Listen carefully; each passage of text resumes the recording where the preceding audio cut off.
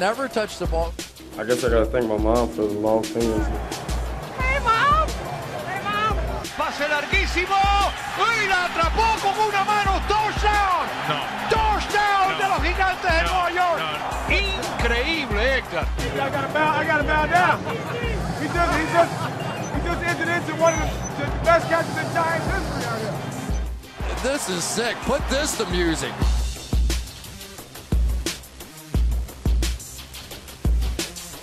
That may be the greatest catch I've ever seen in my life. It's in the conversation.